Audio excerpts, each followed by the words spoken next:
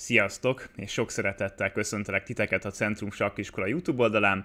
Juhász Ármin nemzetközi mester vagyok, és a mai videóban egy időutazásra szeretném invitálni a kedves nézőket, mert meg szeretném mutatni nektek életem legelső versenypartiát, amit 2007. augusztusában játszottam a Pannonia kupán. Biztos sokan játszottatok már Balatonalmádiba, mert mind a mai napig megrendezésre kerül ez a remek verseny, ahol van egy A csoport, ami talán inkább a profib játékosoknak szól, és van egy B csoport, ami még inkább a feltörekvőbb, kezdőbb sakkozóknak szól. Én itt kezdtem a versenyfutásomat.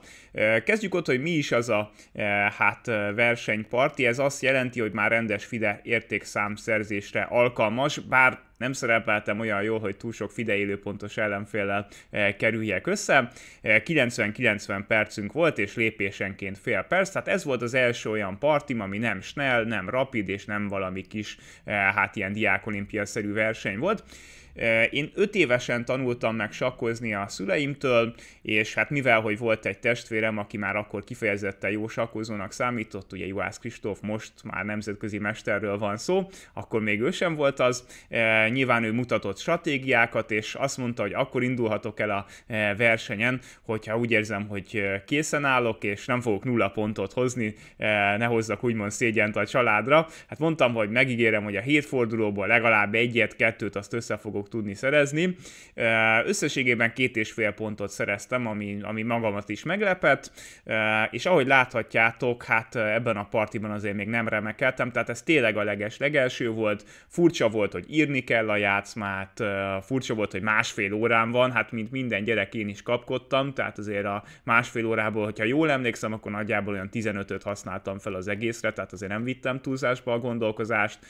Furcsa volt, hogy, az ellenfele milyen lassan játszik, tehát még meg kellett ezt az egészet szoknom, és bele kellett lendülnöm, de nagyon örülök, hogy nem vereséggel kezdtem itt a rögtön életem első versenypartját, ki tudja, mi lett volna akkor. Ezt a partit szeretném veletek közösen kielemezni, csapjunk is bele, tehát az első fordulóban egy szintén értékszám nélküli Tóth Claudia nevezetű fiatal hölgyel játszottam. Ha esetleg Claudia nézi a, a YouTube csatornát, akkor légy szíves írj egy kommentet, eh, mert eh, lehet, hogy te másképp másképp emlékszel itt az eseményekre, de én elmondom, hogy hogy emlékszem erre a játszmára.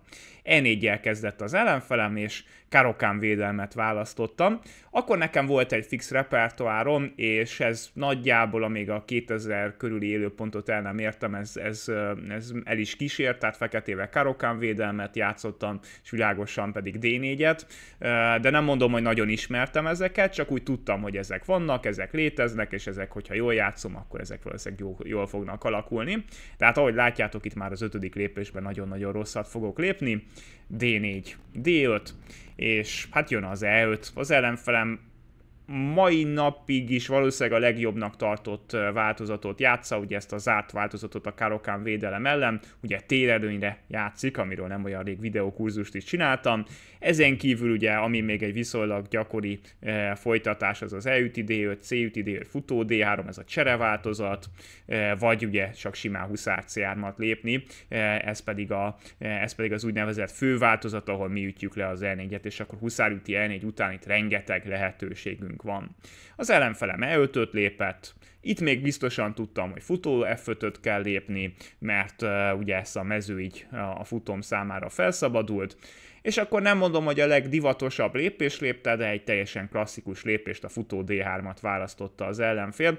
Ezen kívül nagyon sok lehetőség van, tehát van a huszár F3, amit nagyon sokan szoktak játszani, van a H4, ami ami az úgynevezett tálváltozat, ami egy csapdával indul, mert hogyha E6-ot lépsz, akkor G4, futó E4, F3, futókiat H5-tel elfogják a futót, természetesen ezt nem szabad megengedni, és vagy H6-ot, vagy H5-öt kell lépni, és akkor azért itt futóvesztéstől szó sincsen. Illetve persze huszár C3-at, C4-et, mindent lehet lépni, ő futó D3-at lépett, azzal a koncepcióval, hogy lecseréljük az F5 futót.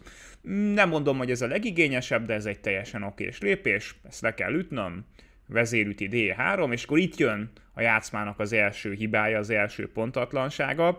Hát itt mai fejjel mindenképpen elhatott lépnék, és hát egy jó pár ilyen partim is volt, és azt szokták mondani, hogy ez az állás annak ellenére, hogy térhátrányunk van itt nem rosszabb, mert a Kapablanka elvnek a gyalogjaink megfelelnek, azaz a futónk a sötét mezőkön vannak, és a gyalogjaink pedig világos mezőn vannak, míg az ő futója a centrális gyalogokkal azonos színen van, tehát nem tud olyan jól mozogni, és majd későbbiek során C5-öt, Huszár C6-ot, Vezér B6-ot akarok lépni, egy jó pár partit nyertem így, én ezeket kifejezetten szeretem sötéttel játszani, ezeket az, amúgy az egész zárt változatot eljött után.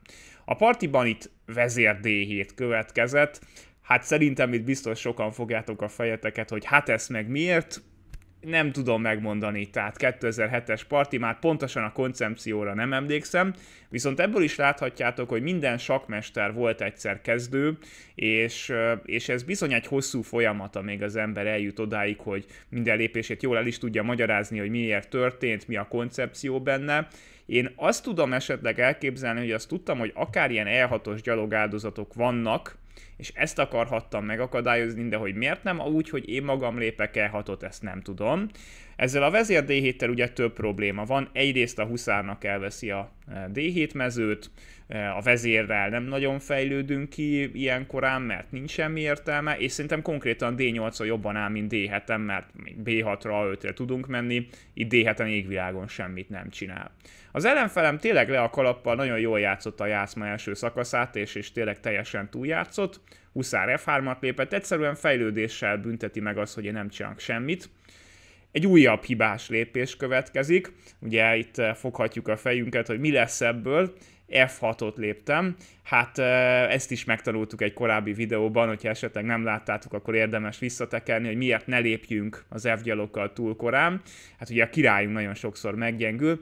Hát én ezeket még úgy nem nagyon tudtam, nem volt egy ilyen összeszedett tudásom, és azt is el kell, hogy mondjam, hogy azért nem is voltam túl sok sakkedzésen, tehát nagyjából ebben az időszakban kerültem a Vasashoz, és ennek az a története, hogy mi a Kristóffal, bár talán rajtam már annyira nem lát látszik rajta, még talán igen, hogy mind a ketten birkóztunk, az volt a, az első, hát kifejezetten nagy sportágunk a Vasasban, és amatőr szinten komoly versenyeket meg is nyertünk az adott kategóriában, és hát ugye a Kristóf már akkor első osztályú sakkozó volt, és a Vasas birkózó szőnyegre megérkezett Káposztás Miklós nemzetközi mester, ugye a Vasas sakszakosztályának hát volt elnöke, szegény nem rég hunyt el, hogy, hogy nagyon szívesen látna engem a sakcsapatba, de mondtam, hogy én még teljesen kezdő vagyok, mondta, hogy nem baj, jó kis sakcsaládból jövök, jöjjek játszani, és hát egy fantasztikus közösség volt, eh, nagyon-nagyon élveztem, és, eh, és hát minden mai napig tartok többekkel a kapcsolatot, eh, és, és hát ott kezdtem el edzésekre járni, és akkor ott egy picit ugye meg tudtam erősödni, aztán utána már a Maróci Géza sak iskolába is be tudtam kerülni, és akkor onnan már egy egyenes út volt ahhoz, hogy e, tudtam, hogy mit kell csinálni egyáltalán, hogy előrébb jussak a sakban. Tehát itt még nagyon sok elszerűtlen hibát követek el, e, kapkodtam, és nem tudtam, hogy mit szabad és mit nem. Ellenfele megint jót lépett, elsáncolt, ha leütöm az e akkor Huszár üti e után csak őt hozom be a jó pozícióba, e, ezt nem akartam, E6-ot léptem, Huszár C3, és akkor itt volt egy játszma szakasz, amit azt mondom, hogy egészen oké. Okay. Tehát egészen oké, okay, tehát itt azt gondolhatnátok, hogy ez egy borzalmas parti lesz. Itt úgy viszonylagosan elkaptam, és a létező legnormálisabb fejlődő lépéseket léptem, tehát futó B4, futó D2, és bár nem szép, de huszára a hatot léptem, gondoltam, hogy kifejlődök, és a védtelen figurát azért bevédem. Nem tesszük a huszárt a tábla szélére, de hát elvettem a saját mezőt, tehát beláttam a hibát, és fejlődtem. Bár hozzáteszem, hogy nem vagyok benne biztos, hogy ezt tudtam, hogy ez így hibás. Futóüti C3, futóüti C3, amikor térhátrányod van, akkor alapvetően nem rossz, hogyha cserélsz, és a másik huszárt is kihoztam szintén H6-ra, tehát látjátok, hogy azért itt a sakkelvekből nagyon-nagyon sok nem volt betartva, lett volna, aki inkább a centrum irányába fejleszti a huszárt. Lépett egy H3-at, ezt talán picit feleslegesnek érzem, vezér F7, B4, tehát szépen szorít le. Azt gondolom, hogy mai fejjel valami vezér G6-ot lépnék itt ebben az állásban, és megpróbálnék vezért cserélni, mert egy kis térhátrányjal, fejlődési hátrányjal ez nem biztos, hogy olyan nagyon rossz stratégia lenne, és amennyiben leütöd, akkor a bástyám is egy picit erősebb lesz, és esetleg egy G5, G4-jel megindulnék. Hát természetesen akkor ilyeneket nem tudtam, én jöttem a huszárral, B5, nagyon szorítanak lefele, huszár C7, B üti C6, B üti C6. És akkor itt van egy olyan pillanat, ahol szerintem, ha jót lépett volna az ellenfelem, akkor hát szinte teljesen vesző vagyok, és, és azt gondolom, hogy nem sok esélyem lett volna túlélni a partit. Nem lépett amúgy olyan rosszat, de, de azért jót sem.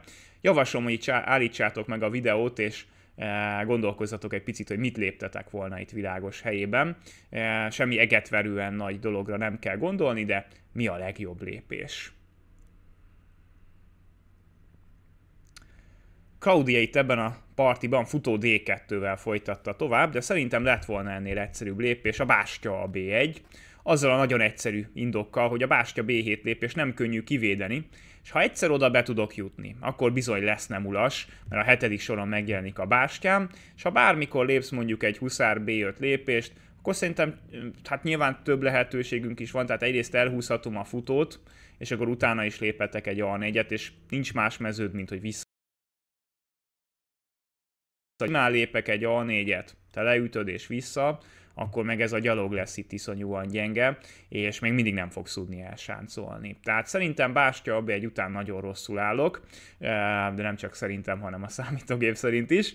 Ő itt futó D2-t lépett, ezt egy picit furcsálom, hogy itt mit akart. Valószínűleg ugye C4-nek készített elő a helyet, de ez nem egy jó terv azért még itt kettő kezdő sakkozónak a hát harcát látjátok. Itt is A5, megint nem értem, hogy miért nem sáncoltam, de valamiért itt A5-öt léptem, na végre elsáncoltam, és na végre ő is meglépte a bástya a B1-et, és hát itt jöttem rá, hogy ó, ez az A5, ez nem biztos, hogy egy jó, úgymond szamárfül volt itt a lap tetején, mert ha most lépek mondjuk egy bástya B8-at, akkor leüti, és lógni fog az A5 gyalogon, tehát gyalogot nem akartam áldozni, ezért bástya a hetet léptem, csak megint látjuk a két bástya közötti különbséget, hogy ez jól áll, hát azért ez kevésbé, ez egy abszolút védekező bástya, jó, az A, A5 még így nem lóg.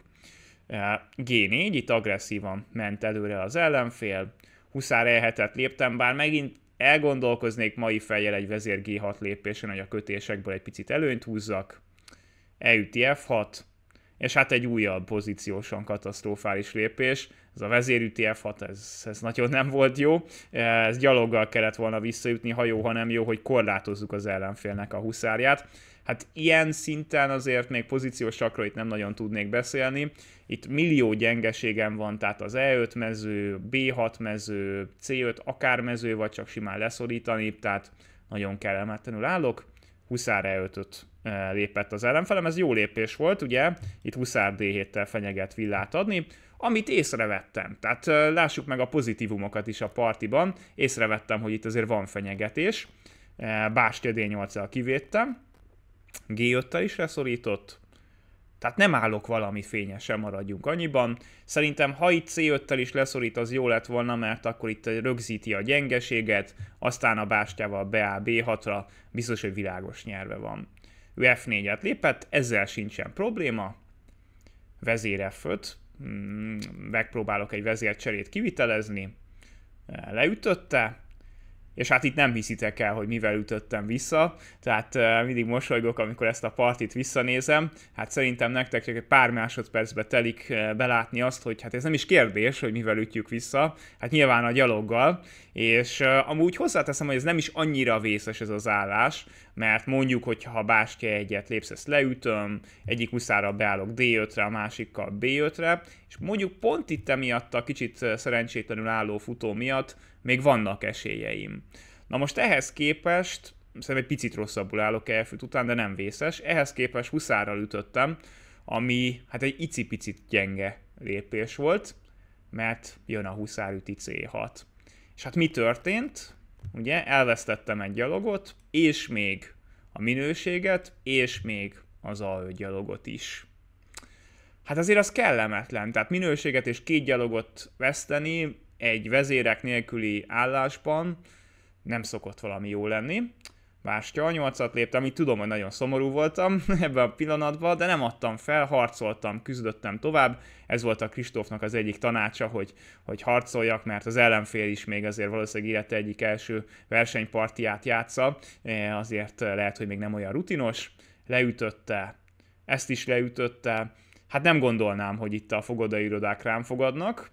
Bástya C8, kimentem a kötésből, leütötte, és hát teljesen veszve vagyok, viszont ami mellettem szól, az az, hogy van egy huszárom, ami azért egy trükkös figura, tehát ugye most lóg a D4, lóg a C4, és majd esetlegesen ilyen huszár csapdákra lehet rájátszani. Nem mondom, hogy jól állok, mert nem, de ettől függetlenül azért esetlegesen egy-két ilyen trükköt el lehet sütni. Ő leütötte a D5-öt, eddig tényleg tökéletes a játék, világos részéről egy-két apró pontatlanságot leszámítva, és akkor úgy, itt úgy láttam is ő rajta, hogy hát nyilván egy kicsit izgul, de, de úgy technikailag nem biztos, hogy rendelkezik azzal a képességgel, hogy ezt itt simán meg tudja nyerni. Még a Bástya b sem volt rossz lépés, szerintem Bástya C3, tehát próbáltam ellenjátékot szerezni. Most adott egy sakkot, tehát megint nem túl jó a koncepció, mert itt, hogyha fölfele mentem volna a királya, még akár azt is el tudom képzelni, hogy itt a király erős figura szabály alapján itt azért még fel is tudok menni, tehát ez nem egyértelmű. Nyilván nyerve van a világos, de itt még harcolni kell. Hát lefele mentem, ami sose tanácsos hasonló helyzetekben, mert itt a két bástya azért sokszor mathálót tud szőni. Tehát itt mit kellett volna csinálni világossal, mi a legsimább nyerés? Akár ti is állítsátok meg a e, videót és gondolkozzatok egy picit, hogyha technikailag úgy érzitek, hogy, e, hogy ez nem olyan egyszerű. E, és szerintem amúgy így profi sakkozóként is azt mondom, hogy nem teljesen nyilvánvaló, hogy mit kell csinálni. Tehát itt most három különböző gyalog lóg, ugye lóg a D4, az A3 és a H3, és ez nem egy olyan könnyű döntés, hogy, hogy melyiket áldoznátok be. Kíváncsi vagyok, hogy amúgy ti mit lépnétek itt ebben az állásban. Ő Bástya B6-ot lépett, aminek őszintén nem tudom, hogy mi az értelme, tehát hogy miért pont B6-ra, ez egy nagyon jó kérdés. Itt, ha A4-et lép, Huszár üti D4, A5, szerintem ez nyer. A szabadgyalogokat tolni kell a végjátékban alapvetően, tehát egyet visszaadhatott volna, mert annyira sok van neki, és gyakorlatilag innen is akár majd vissza fogja tudni nyerni, de hát szerintem a legegyszerűbb, ha tényleg tolja a gyalogot ilyen egyszerű módszerekkel, és azért itt a minőséges gyalogforral ez nyert volna. Tehát szerintem bármi, csak nem az algyalogot kéne odaadni, mert az a legveszélyesebb. Bástya B6, én sem értem, hogy miért léptem király f és miért nem ütöttem le ezt a gyalogot, én király f léptem, örültem, hogy kijöttem a mathálóból, A4, most már megtalálta, bástya A3, bástya C1. Hát igen, ez a kellemetlen, amikor a két bástya bejön és mattot akar adni nekem. H6-ot léptem, hogy a királynak még itt helyet tudjak biztosítani, bástya C7 sak, király G8, és hát itt ha az ellenfelem G6-ot lép, akkor alig, hanem az életem első versenyparti, ez elég balul sült volna el, nem tudok kijönni a királlyal, ez mattal érkezik. Az egyedüli módszer, amivel ezt ki tudom védeni, az ha sakkot adok, és ezt leütöm, de hát itt meg most már bástya és minőség hátrányon van, és bemegy a gyalog. Tehát ha itt G6-ot lépett van, akkor 100%-osan megnyeri a partit. Hát ő sakkot adott, király H7, és mindjárt jön a drámai fordulat, G üti H6, huszár üti H6, jó, hát itt is teljesen veszve vagyok. Bástya B6, adtam egy sakkot, leütöttem a gyalogot, és most már csak minőség és egy gyalog hátrányom van, nem minőség és kettő gyalog hátrányom, és itt egy nagyon nagy hiba következett, természetesen nyerve van az ellenfél, tehát mondjuk egy bástya D6 után itt szépen ráduplázik erre a gyalogra, ezt itt alig, hanem le fogja nyerni. Bár én is leüthetem, de akár bástya C5, akár király E3 majd a későbbiek során kellemetlen lehet itt egy olyan lépés lépett, amin már akkor is meglepődtem, nem hogy most, mert láttam, hogy ez nem jó.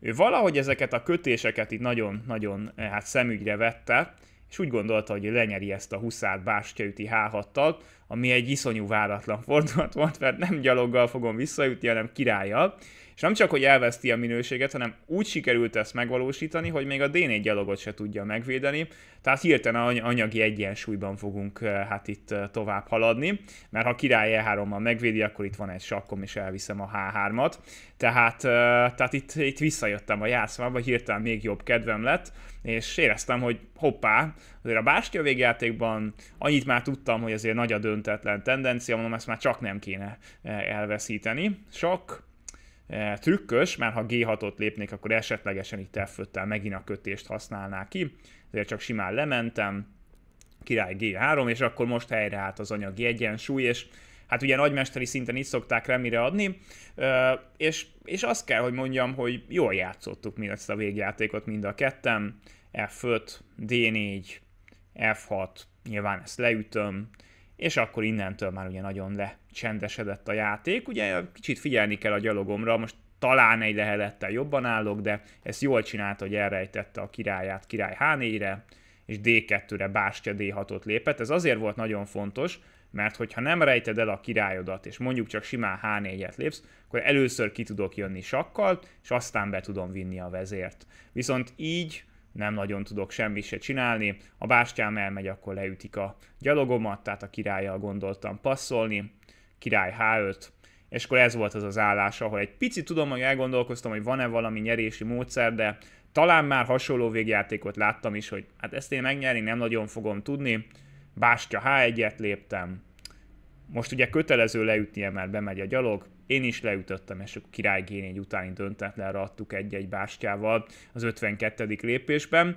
és ez volt életem első versenypartia, és tudom, hogy itt már eh, anyukám is, meg eh, Kristóf is nézte a partit, és nagyon örültek, hogy eh, ilyen szép bástya végjátékot mutattam be. Hát ők akkor még nem tudták, hogy mi volt az előzmény, és hát nem tudták, hogy ilyen sok fordulat volt a partiban.